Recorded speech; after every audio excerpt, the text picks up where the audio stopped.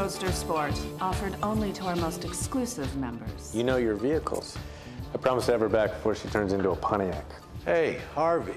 Lawrence, How would you feel about taking something other than the Tesla tonight? it goes against my policy. What policy? My I want the Tesla policy. yeah. Tell you what, you know more about the car than I do? It's yours. Horsepower. Really? That's where we're starting? Oh, if it's so simple, just answer it. 288. Top speed, 125 miles an hour. Zero to 60. 3.7 seconds. Yeah. You know your cars. I'm an enthusiast, and I've been waiting for the Tesla for months. Okay. Lawrence, knock yourself out. So why'd you let him have it? Because it never hurts to have a man who runs a $2 billion hedge fund owe you one. But if you're just gonna give it to him, why bother to compete first? Because if I didn't beat him, he wouldn't feel like he owed me one. I'm suddenly feeling old school. Why don't you surprise me, huh?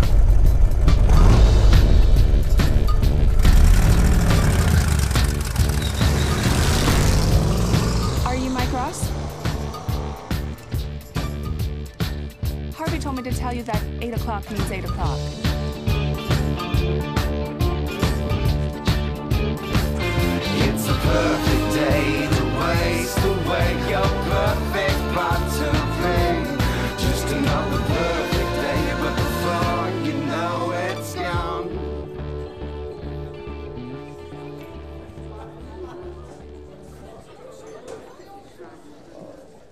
Glad you showed up. Oh, hey, I'm sorry. I was Shut just. uh, up.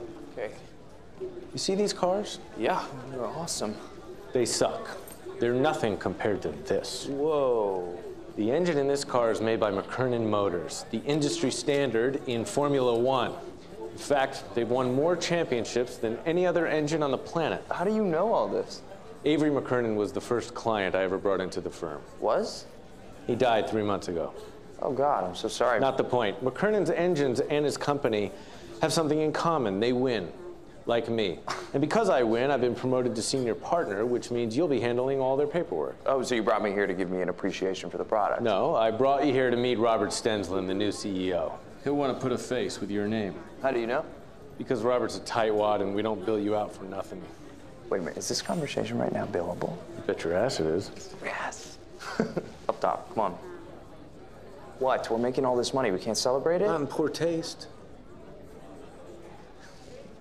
Dominic, Mike, I'd like you to meet Dominic Barone, the man responsible for the design and production of this engine. This is my new associate, Mike Ross. He's just a kid. You trying to steal his soul before he hits puberty.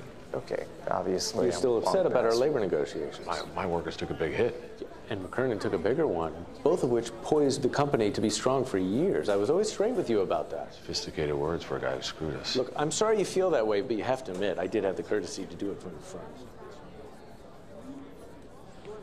Wow. Yeah, he really appreciates what you've done for the company. Robert Stensland, I'd like you to meet your new associate, Mike Ross. We're not paying him what we pay you. Nor should you, but I assure you he's highly effective.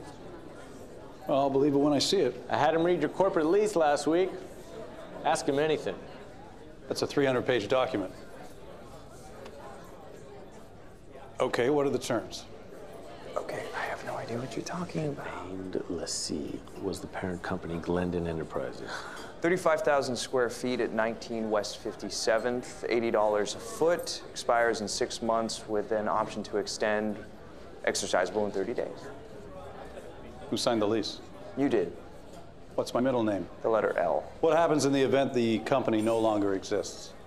That wasn't in the lease. How can you be sure? Because the lease I read wasn't 300 pages, it was 364. And I could tell you what's on any one of those pages, but I can't tell you that. That's how I can be sure.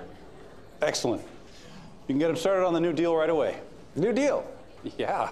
I have found a buyer willing to spend $200 million for the ground underneath the flagship factory. Where are you moving manufacturing? Well, that's the beauty of it. The real asset of McKernan Motors is the name. We move overseas, we save ourselves a bundle. Upfront payout while retaining the name and maintaining cash flow over time. That's genius. Exactly. Uh, we'll take care of everything. okay. Right. Thanks. Really? Jesus, I knew he was cheap. I didn't realize he was an idiot. What are you talking about? The asset's not the name, it's the quality. He moves overseas, he's gonna kill the goose that laid the goddamn golden engine. Wait a minute, I thought you didn't get emotionally attached to the client.